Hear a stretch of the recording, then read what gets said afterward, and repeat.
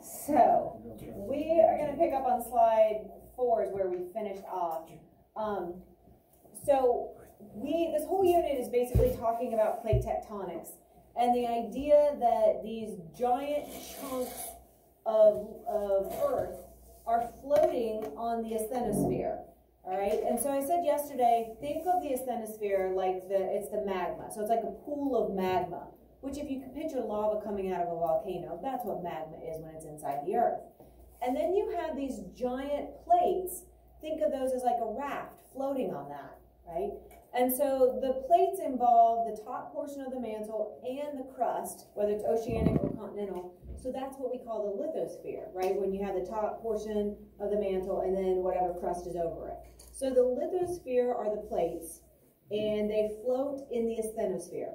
What else is found in the asthenosphere? What major event is taking place all the time? Convection current. There's convection currents, right? And so we know that they are moving because they get heated up and then they become more dense, or excuse me, less dense, and then they rise and then they cool and then they get more dense as they cool and then they sink again.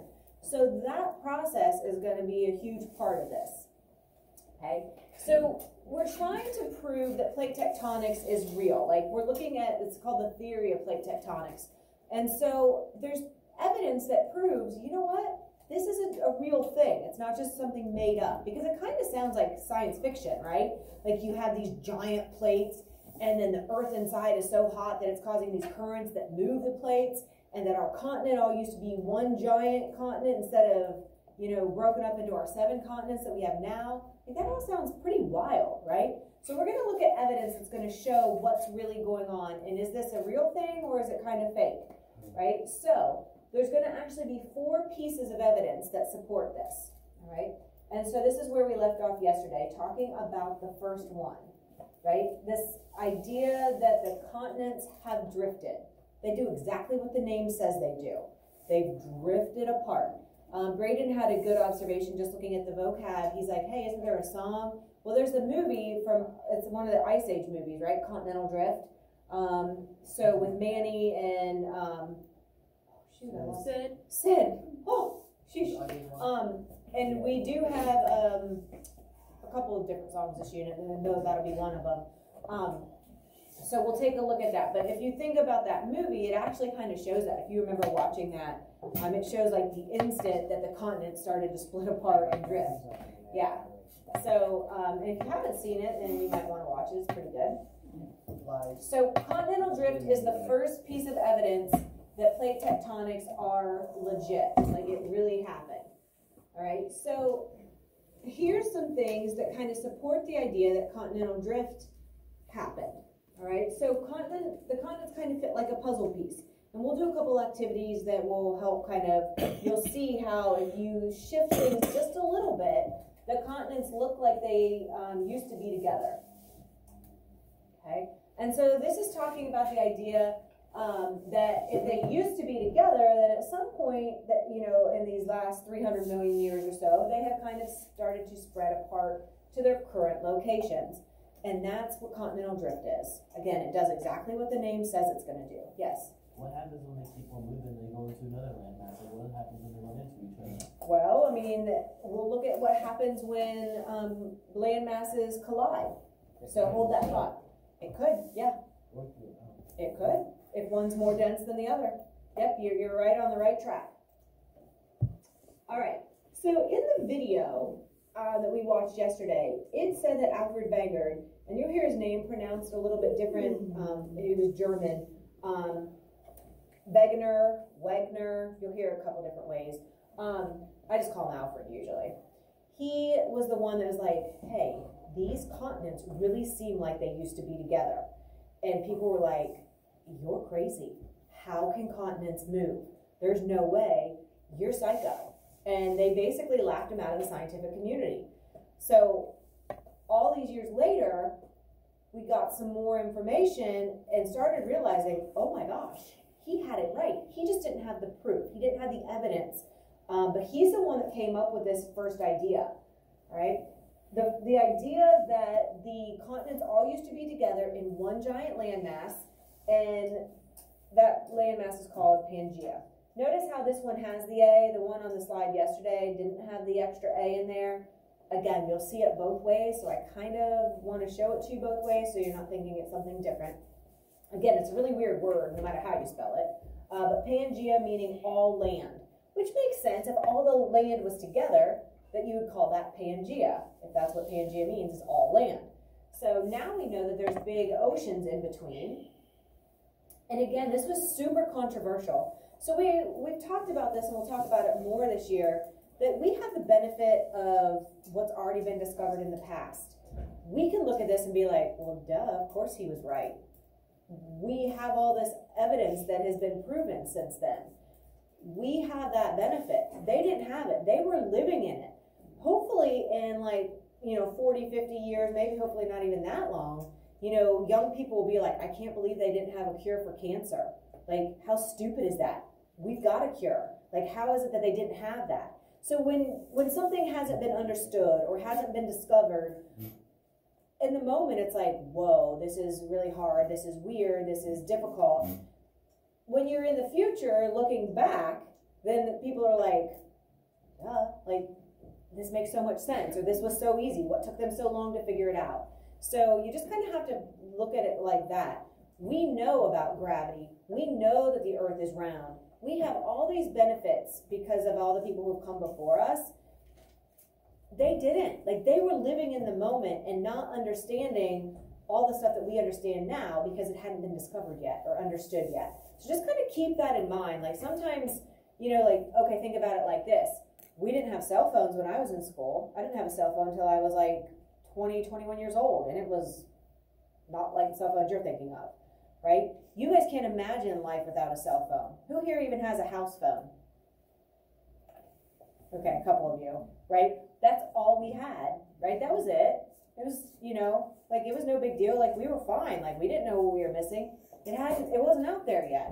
So we didn't even know, right? So if you think of things like that with technology, you know, that's kind of how it is with the scientific field also you don't really even know until it's been discovered or invented and you're taking advantage of it and then be like, how did you survive without it? Or how did they not know this?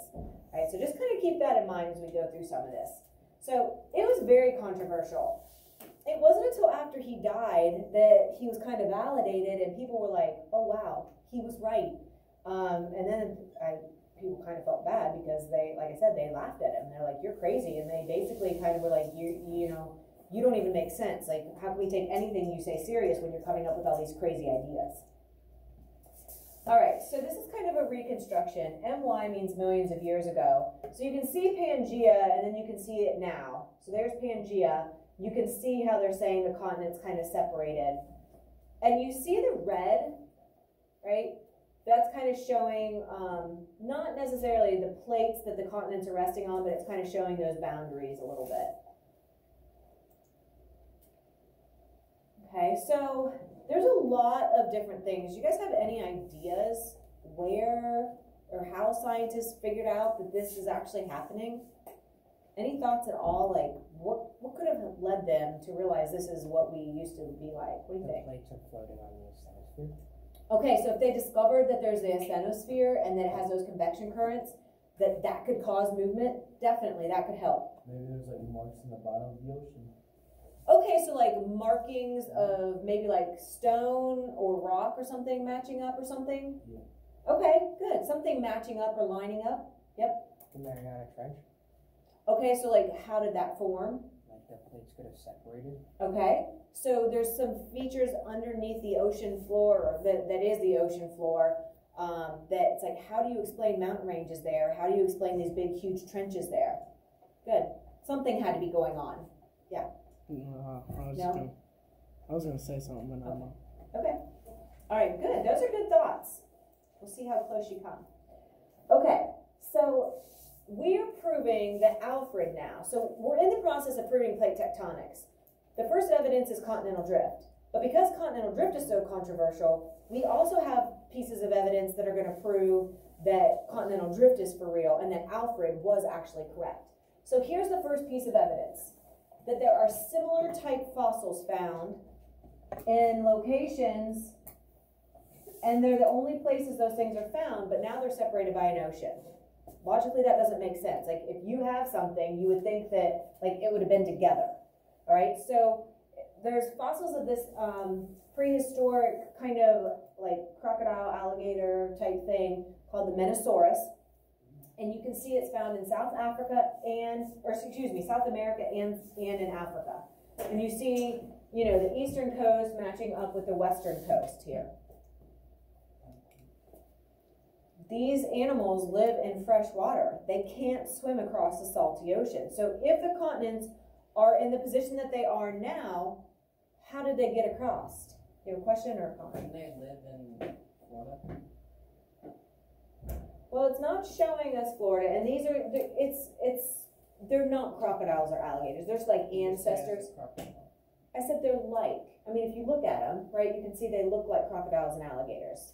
Okay, so they're they're they're related. They're somehow ancestors, but these are much much older. Okay, so you can't swim across the salty ocean. How'd they get there? Magic. Magic, Yeah, they just teleport. Like. teleportation. If they can figure it out, I think we can figure it out. They brought them across. Who brought them across? People. The alien, they took a boat. Okay, so what if they're older than known man? The alien took it. The cavemans took them. They could have started out both continents. Okay, so I mean, can't say that maybe they didn't. But what people, what they started to figure out is that, well, maybe the reptiles lived on both continents um, when they were joined together as Pangea. And then as they separated, some stayed with um, South America and some, stayed with Africa. And then as the continents just kept spreading apart more and more and more, then they ended up being separated. Yes. But what if they're just both there like all the time? Like, what if they they didn't separate? What if they're just separate? They can both be. Why are both of them? Well, I guess I don't really follow. Like, if these were together, like it makes sense that some could have stayed here and some could have stayed here. But if they were always separate, why do you? That's the only place you have them is right where those they would have lined up if they had been together. That's what it. It looks like, it looks like it fit a puzzle. It does, right? And that's one of the things we'll talk about. Right? That is definitely one we'll talk about. So they basically kind of think, well, there's not like a big bridge that connects them. They couldn't just walk back and forth. They can't swim. There were no planes or anything. So one of the logical conclusions is that those continents maybe used to be together. All right?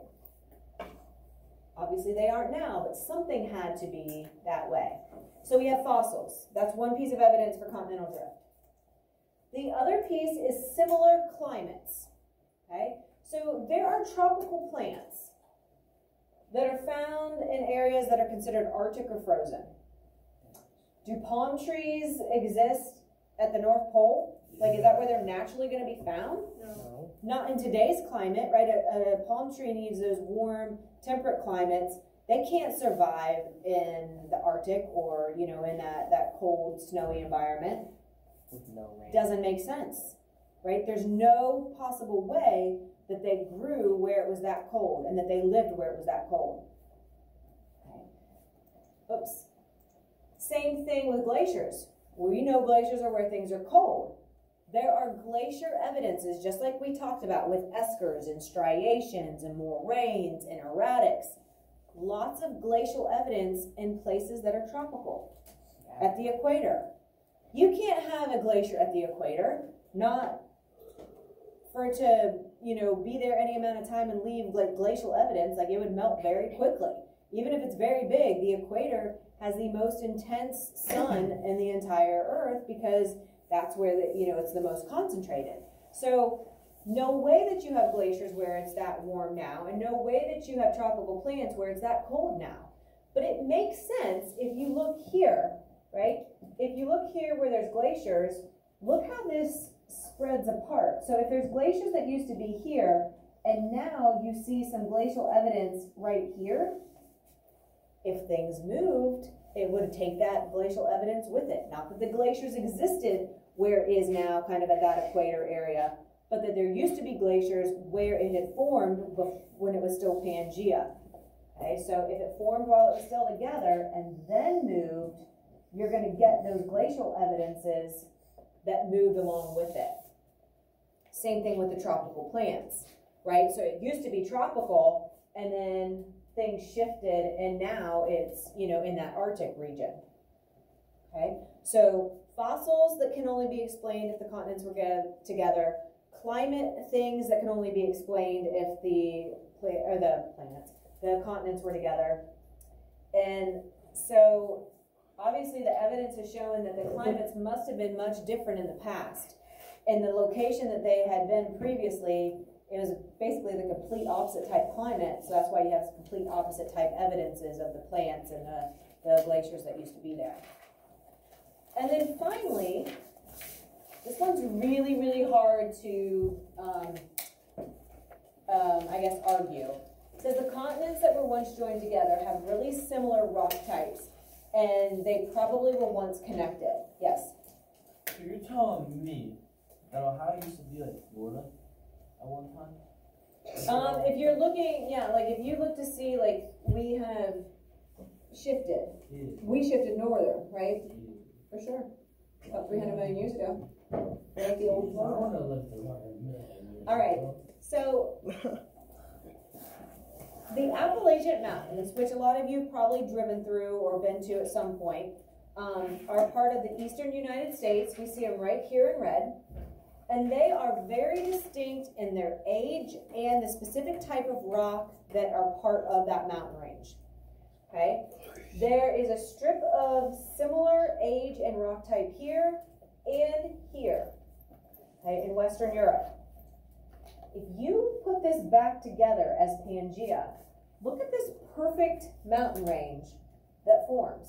And that is basically the entire North American continent long. It's a huge mountain range, thousands and thousands and thousands of miles long.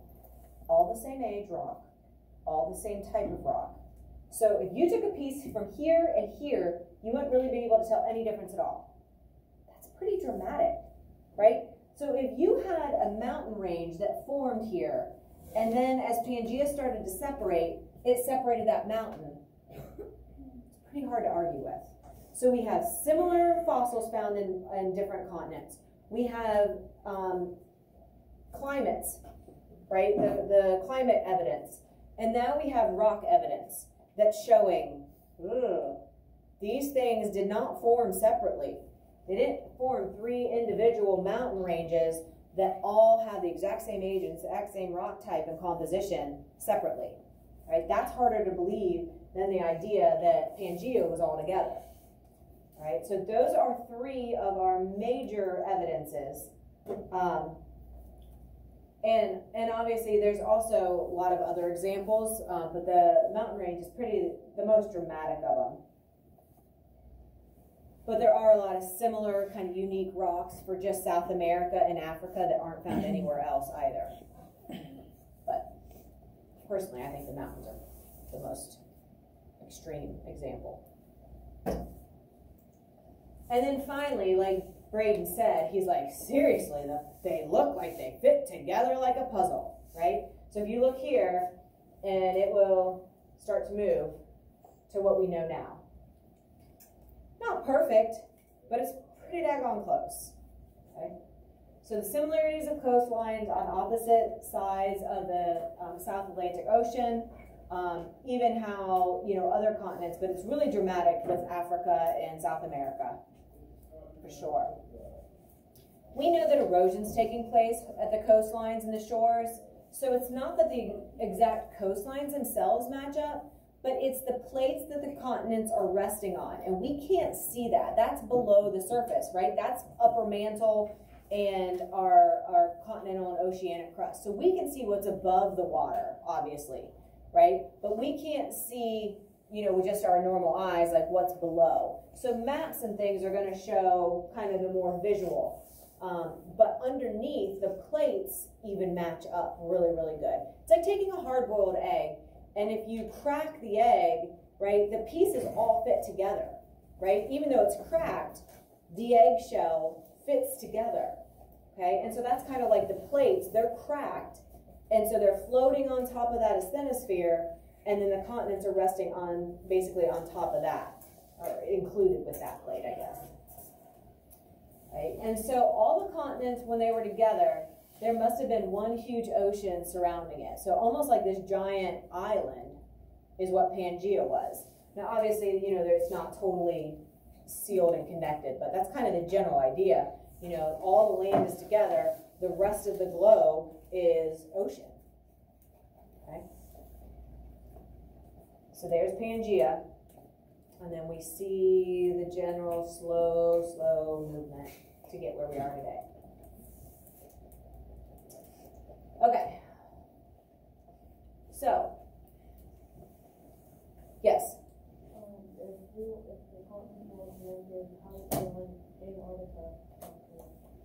How do we how do we get it? how would Antarctica connect with the continent world? So we'll look at a lot of different kind of diagrams. We don't know like exactly the way Pangea. We're assuming just based on you know the way that things have been kind of reconstructed. Um, but you're saying like so Antarctica you have so it kind of just spreads out and it's it's hard because we're looking at you know like the earth is three dimensional and then we are trying to put it one dimensionally as a map so it doesn't make it exactly perfect. Like everything would have to be kind of spread out three dimensionally but that's hard to see. So a lot of times it'll be spread out to look like this type of map right? So really antarctica kind of spreads out along the bottom if that kind of helps a little. Yes? So, in a million years, the globes today could be wrong. yes. That's pretty crazy. So a million years is a long time. Well, but think this process was like 300 million well, what about a hundred million years? Sure. I mean, it definitely, I mean, there's no reason, as long as the convection currents keep going, because there's still internal heat inside the core, that, there's no reason why the process shouldn't stop. So the U.S. could be like a, the nice Antarctica, and the next Antarctica could be like, like Us, yeah. could be, I don't know. could be. That's crazy. Don't worry, you'll be gone. Oh, We all will. So. Yeah, your body. Okay. So we're gonna do a graphic organizer here in next week sometime, I think it is, to keep all these evidences straight because it can get a little confusing. Hmm. But there's four pieces of evidence for plate tectonics, and there's four pieces of evidence that prove continental drift. So continental drift is the first piece of evidence for plate tectonics. But then continental drift itself has four.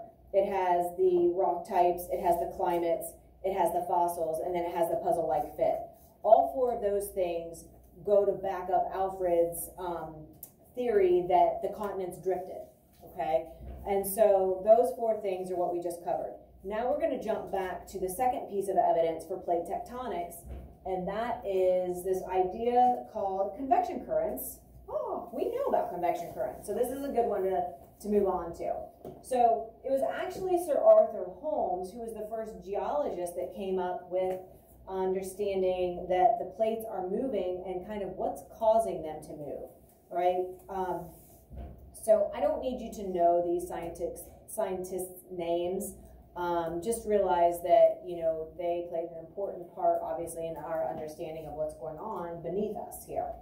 So Holmes discovered that the Earth plates move because of what's going on inside the Earth. We have the hot core. The hot core is going to heat up this mantle, asthenosphere area of the mantle, okay, causing those convection currents to to move, or, or allowing those currents to move, I guess. Right, so the idea that the convection currents take place in the asthenosphere is still an important idea that you need for this unit. The asthenosphere has the convection currents, and that's the magma, and that is what the plates are sitting on, so then the plates are able to move. And again, think of that heating, rising, cooling, sinking process. Heating up just like you do if you're close to the bonfire. Hot things become less dense and rise. As you move away from the heat, just like if you move away from the bonfire, you cool down. And so then, um, as things cool down, they become more dense because the molecules come back together. More dense things will sink.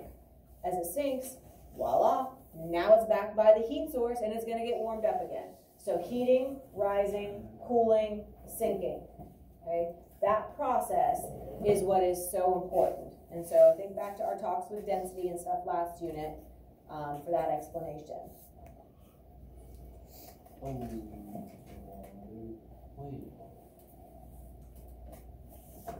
Got something wrong? I don't even know. I don't either. He's got it, don't worry. And so remember, the less dense material rises as it's heated, the more dense material is going to sink as it cools. And so that rising and sinking, rising, sinking, heating, cooling, right? All of that perpetuates the system over and over again. And so energy from these convection currents comes from the core. So this is just a little um, you can see here's our core, and you have all these cells, these convection cells, all throughout the asthenosphere and the mantle. Okay, so obviously the red arrows are hot, the blue are cooling off, and then you see them sinking. So just reinforcing that idea. And this one I think is kind of cool because it looks a little bit more realistic, not quite so cartoonish. Core, there we have, yeah, look how, like, it's really pretty violent and strong and intense, right? A little bit more realistic instead of just like, ooh, little arrows, right? That, that looks very violent, right? And we're actually going to talk about what's going to happen there um, when it kind of comes through the crust. Um, some really cool things can happen, yeah. What happens? What is in the middle of the convection? What do you mean? Like, the Like middle, up here or down here? like in the middle of it, the little like eye things. And Okay. like in like from like the where it's circling. around, Like Oh, the, like here? no, like Just come show me. Here? Here? like here. Oh, in the middle. Well, that's still magma, but it's not in the current. So it's just kind of hanging out It's there. like an ocean. It's the exact same thing. Wow. Greg must not have been here that day. I wasn't. Wait, was only Monday? So much stuff you missed. I'm guessing probably was a Monday. Um, this one, actually, it, kind of fits. We're going to talk about what happens. See, this is showing kind of the plate moving. And I'll have this again. Um, so as the plate moves because of the convection cells, sometimes volcanoes will will um, happen. Um, and we'll talk more about that. Um, back to that one. Come on. All right, so I'm glad you guys, I like your reaction to that one because when I saw that, I was like, ooh, that's, well, I was gonna say cool, it's kind of hot, right? It's neat, um, seeing that. Okay, so we have two pieces we've talked about for plate tectonics for evidence. Continental drift and convection currents. Here's the third one. We're gonna introduce this idea of sea floor spreading. Does exactly what it says. The sea floor is going to spread right? So if you, the plates are on top of the currents and the currents are pulling them in opposite direction and it's sea floor, it's going to spread apart, okay? So you can kind of see that here. Um, you can see the convection currents would be down here. It's pulling the, the plates apart and you get this seafloor that is spreading apart, okay? And so when you get that hot, less dense material, um, that is right there below the Earth's crust. It's going to rise towards the surface at these things called ridges. And it's going to flow sideways. And as it flows sideways, it's going to carry that seafloor away from this ridge in both directions. You can see it pulling equally. So it's being split here and it's pulling, pulling, pulling, and separating equally on either side of that split.